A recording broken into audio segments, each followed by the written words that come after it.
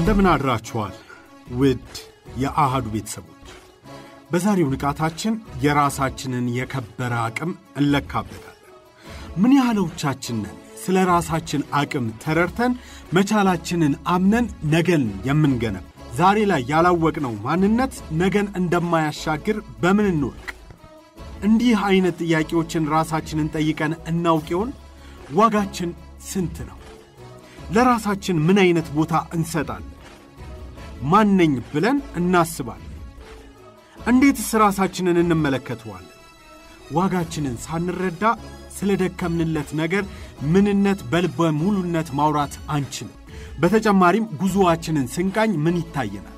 ደስታ ወይስ ሐዘን? እርካታ ወይስ ምሬት? ሰላም ወይስ ረብሻ? ጤና ወይስ ሕመም? ሙላት ወይስ ባዶነት? ከምንም በላይ ያለንበትን ሁኔታ ከሕልማችን ጋር ምን ያህል ይገናኛል? ከራእያችን ጋር ምን ያክል ይጣጣማል? ውስጣችን የሚመላለሰው ሐሳብ በምን ያክል መጠን ወደ ምድር ወርዶ እንመለከተዋል? በእውነቱ ራሳችንን የምንመለከተው የምናየው፣ ደረጃችንን የምናጤነው፣ እርምጃችንን የምንመረምረው ማንንም ለማስደነቅና ለማስገረም አይደለም። ሮቢን ሸርማ በአንድ ወቅት እንዲህ የሚል ንግግር ተናግሮ ነበር። ችሎታህን የተረዳህበት መንገድ የማንነትህን እውነታ ይፈጥራል ይላል። እያንዳንዱ ተፈጥሮ ብዙ የራሱ ሥራ አለው። በማንነቱ በቀላሉ ማድረግ የሚችለውና የማይችለው ሊደርስበት የሚችለውና የማይችለው ስፍራ አለ። ከችሎታው ከከፍታውና ከስኬቱ በፊት ግን በቅድሚያ ራሱን ማወቅ ይኖርበታል።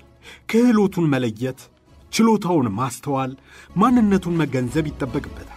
እኛ ራሳችንን አውቀን ፍላጎታችንን ለይተን ክህሎቶቻችንን ተረድተን ማንነታችንን አስተውለን በምንፈጽመው ተግባር ላይ የት እንዳለን የማያውቅ ምን እንደሚፈልግ ያልገባው አቅሙን ያልተረዳ ማንኛውም ሰው በሚሰጠው ያልተገባና እኛን ሳይሆን የራሱን ትንሽነት፣ ባዶነት በሚያሳብቅ አስተያየት የምንቆምም ሆነ ለመቆም የምናስብ አይደለም። የራሳችን ደረጃ አለ። የእኛነታችን ከፍታ አለ። ደረጃችንም ሆነ ከፍታችን ለእያንዳንዱ ሐሳብ፣ አስተያየት፣ ትችት፣ ዘለፋ፣ መሰናክልና ጫና መልስ እንሰጥ ዘንድ አያስገድድም። በውስጣችን የምናየው ምስል መዳፋችን እስክንይዘው በእጃችን እስክንጨብጠው መስሚያችንን ዘግተን ጉዞዋችንን እንቀጥል። ደረጃችንንም በሐሳብ ልዕልናችን ልክ ከፍታችንም በአስደማሚው አቅማችን ልክ እውን እናድርግ። በአንድ ወቅት ዝሆንና ውሻ በአንድ ቀን አረገዙ። ከሦስት ወር በኋላ እርጉዟ ውሻ ስድስት ቡችሎች ወለደች። ከስድስት ወር በኋላ ውሻዋ እንደገና አረገዘች። ከዘጠኝ ወር በኋላ ሌሎች ስድስት ቡችሎችን ወለደች። እንደዚህ እያለች ብዙ ልጆችን ወለደች። በዐሥራ ስምንተኛው ወር ውሻዋ ዝሆኗን እንዲህ አለቻት፣ እርጉዝ መሆንሽን ግን እርግጠኛ ነሽ? እኔም አንቺም እርግዝናችንን የጀመርነው አንድ ቀን ላይ እንደነበር አስታውሳለሁ። ይኸው እኔ ሦስት ጊዜ ወልጄ ከደርዘን በላይ ልጆችን አሳድጌ ትላልቅ ሆነው ልጅ በልጆኛል። አንቺ ግን አሁንም እርጉዝ ነሽ፣ ችግር አለ ስትል ጠየቀች። ዝሆኗን መልሳ እንዲህ አለቻት፣ አንድ እንድታውቂልኝ የምፈልገው እኔ የተሸከምኩት ቡችላ ሳይሆን ዝሆን ነው። ልወልደው የምችለው በሁለት ዓመት አንዴ ብቻ ነው።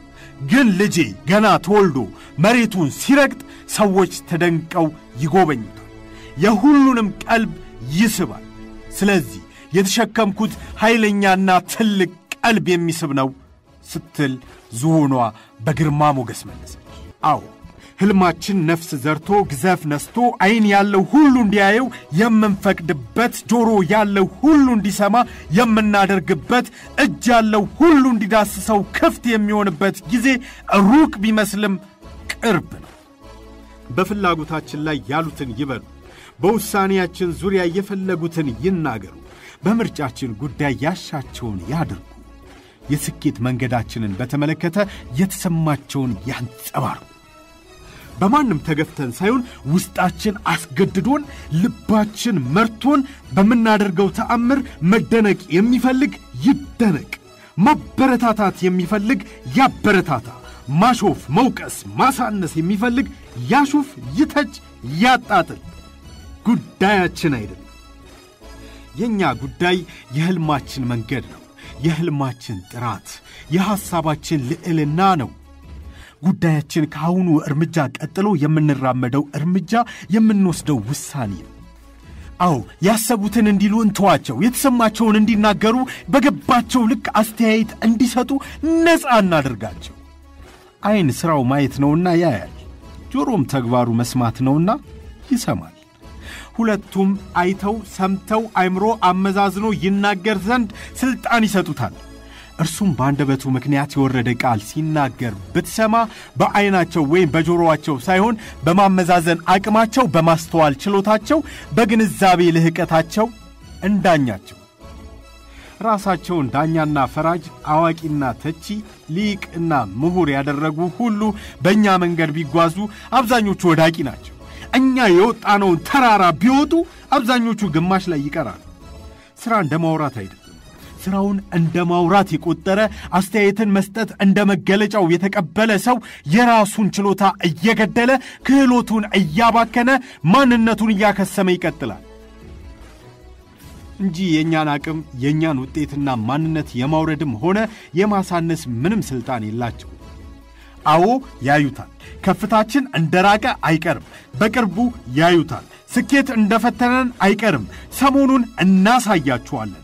በራስ መተማመናችን፣ ራሳችንን ማክበራችን፣ መኩራታችን እንዲህ እንደ ቀላል እንዳስተቸንና እንዳስቀለደብን አይቀርም። ነገሮቹን ሁሉ እንቀይራል። ራሱን የሚያከብር ተግባቢ፣ ራሱን የሚወድ በራሱ የሚተማመን ብርቱ፣ ጠንካራ ሕልም ያለው ሰው እንፈጥራለን። ስለ ራሳችሁ ለማወቅ የምትጥሩበት ቀን ይሁን። ሰናይ